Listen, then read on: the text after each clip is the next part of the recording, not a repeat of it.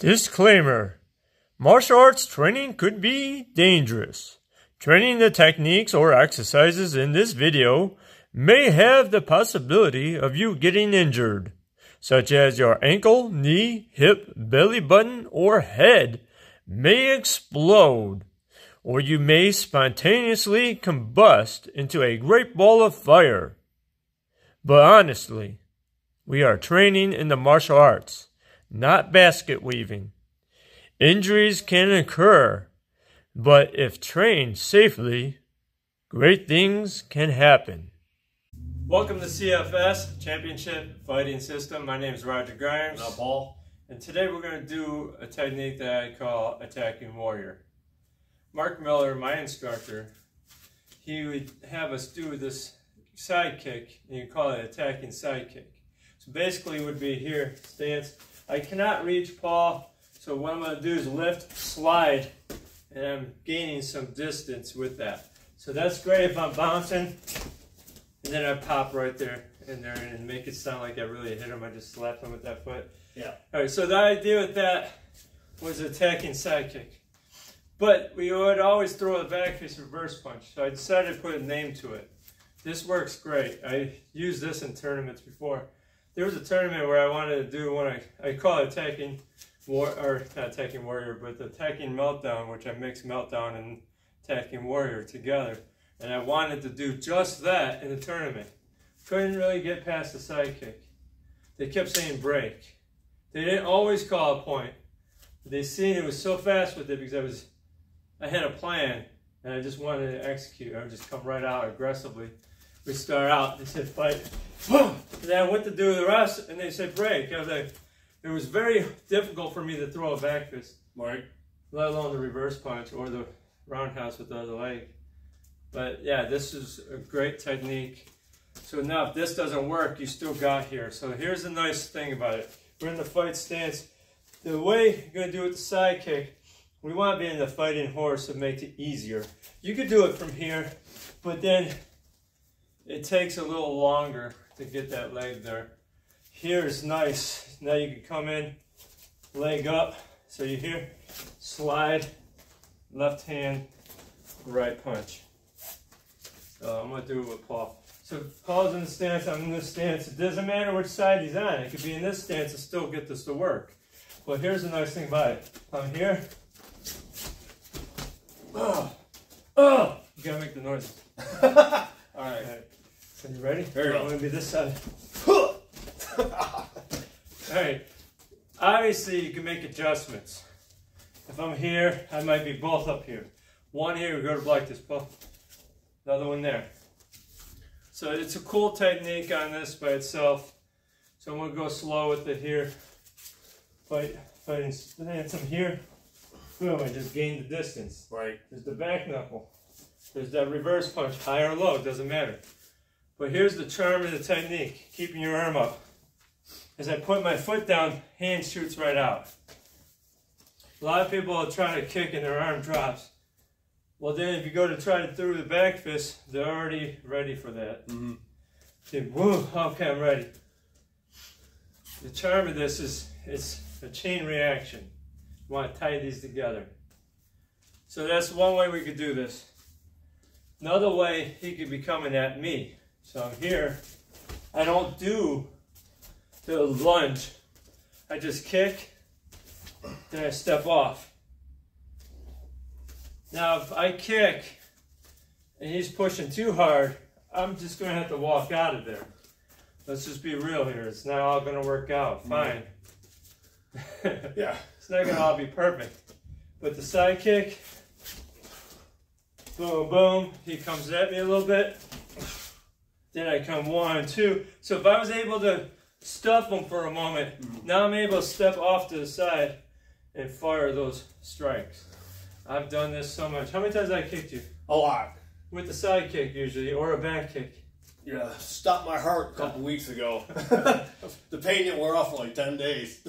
no. Oh, yeah, yeah, yeah. It didn't hurt. Yeah. All right, so the nice thing here is I can sidestep and still get it. Come at me fast, right? I'm here, and then if that, okay, he came too fast. That wasn't going to be sensible, was it? All right, come at me again. I'm side kick. Oh, oh. So now it's a delay. If I'm going in here, I can step off. Now that's where the delay comes. So you can play with the timing on this, but this usually works best when I'm coming right here to here. But poo-poo happens, and you have to adjust. And he's being nice. He's hitting me up here in the hip. If he was hitting Yeah. me here in the midsection or the ribs, I'm going to be doubled over. Yeah, so I- I don't want to keep popping you with that right now. Right. Well, wait, we'll save for sparring. All right, there's another way I do this. Okay, now this time I'm on more of a normal fighting stance, or it could be called a neutral bow also. So I'm here. Now at this point, I can throw the side kick from there, yeah. But right now I'm going to show you, we're going to throw the roundhouse kick or the wheel kick. So from here, I can top of the foot, ball of the foot, doesn't matter. I can go to the leg, back fist punch. I can come into here, leg. Now for me to throw this to the head and come down, Not going to work. it's not going to be great to do it that way unless you have a phenomenal stretch where you can stand straight up and do this. No. But from here, I can Yeah. come right down. I'm not leaning. If you guys have watched me long enough, you know my stretch isn't all that great. But I can pop the head or kick to the head because I'm not leaning. Right. And it's deceptive. Go to punch me in the head, I'm out of the way, there's a kick right to the face. Or the back of the head, whatever I'm doing, you know. Alright, so let's do this. Fighting stance. Here we are. Now this time I'm hitting you. I want not to lunge. This time we're close enough. As soon as we come to the point to where you can touch hands, see this? I lift, adjust, Right. one, two. Hopefully that kick will bring that arm down. If it doesn't, this could be a pull down. There's the punch. Like I said, poo poo happens. Adjust. All right, let's do this in the air here. Shift with the round. One, two. You can use the ball of the foot too. Now let's go with the other side. You here? All right, Paul, here we are. So at this point, I'll hit Paul right there into the into the leg. One, two.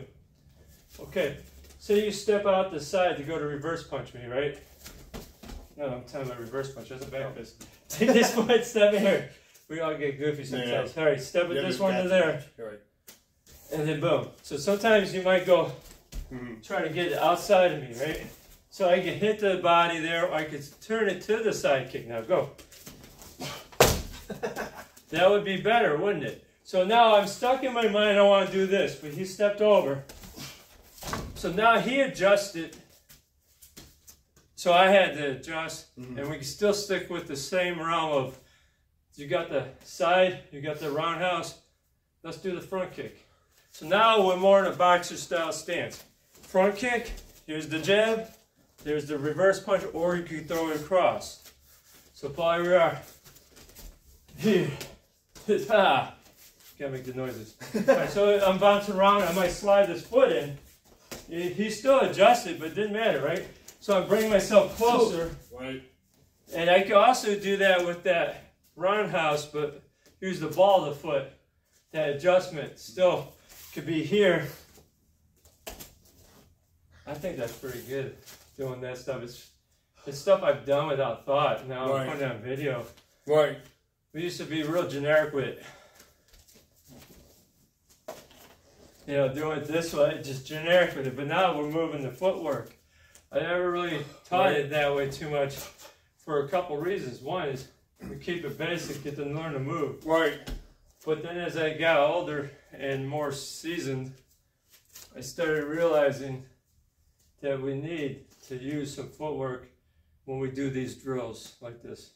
And if you're moving around in a fight, sparring, you're not. It, to me, it's unadvertised. You don't even see it coming because Yeah. you're so you can be so you're quick at it. Right, right. What Right. is it? Uh, Jerry Roberts, one of the greatest point fighters I've known personally. He was doing a seminar and he was talking about this. Like get in a stance, right? Where he goes, Who who's fast? He goes, Roger, you're fast. He goes, put your hand like this. He goes right here and he says to block it. I go to block it. He's like, cool. Then he starts doing this. He goes, block it, and he starts hitting me. right. Yeah. Because he's like already in motion. But that's the thing is, it's harder for me to judge when you're going to hit me when you're already in. Right. Right. It's already in mm-hmm. motion. It's easier to go faster from that point. All right, so let's go over this really quick. Front kick, jab, cross. That's the new one. Let's do the other side. Front kick, jab, cross. Now, we're more like this, right? Step over there. There's that front kick, jab, cross. He walked into that zone. Okay, so from here, step over that way. I could walk, I could catch you on your way. Yeah. If you move too fast, Right, move right. faster. Ball the foot, or I could just turn the front kick this way, or side kick. Yeah. Like here, go ahead, step over here, side kick, still work. So it's where they're at is deciding what you're gonna do. Right. I think that's pretty good stuff. Right. And I know it's coming, so I can perceive where to block. But if I don't know it's coming, I'm probably gonna get tagged pretty good. Yeah, that's right. yeah. Do you have any words of wisdom? Yes. Pursue God. Love with all your heart. That's a good word of wisdom. One of the students here has become a friend of mine, Greg Napoli, says the day isn't over until the day is over. I was like, you're so silly. So I decided I'll put that on. I know you're going to be watching it, Greg. So.